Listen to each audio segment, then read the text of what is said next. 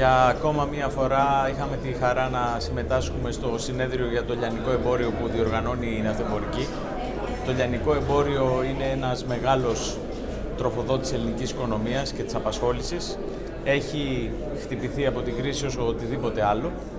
Απλώς βλέπουμε τα τελευταία ένα-δύο χρόνια κάποιες χαραμάδες αισιοδοξίας, αλλά ταυτόχρονα βλέπουμε και έναν τελείως διαφορετικό καταναλωτή, ένα καταναλωτή ο οποίος αναζητά εξειδίκευση, αναζητά εξειδικευμένες συμβουλές και εμείς οι λιανέμποροι είμαστε υποχρεωμένοι να προσαρμοζόμαστε. Όποιος δεν προσαρμοστεί προφανώς θα είναι παρελθόν.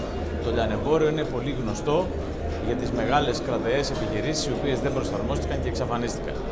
Άρα μας δίνεται μια πρώτη τάξη ευκαιρία να διαβάσουμε πάρα πολύ καλά το τι συμβαίνει ανά τον κόσμο, να διαβάσουμε πάρα πολύ καλά τι συμβαίνει στην Ελλάδα και να φτιάξουμε αυτό το μείγμα επιτυχίας μεταξύ των νέων πραγμάτων που έρχονται από την τεχνολογία και του καταναλωτή του Έλληνα, ο οποίος είναι πιεσμένος από την κρίση και από την ανάγκη να ακολουθήσει αυτά που συμβαίνουν σε όλο τον κόσμο για να μπορούμε να ανταποκριθούμε στις προσδοκίες του.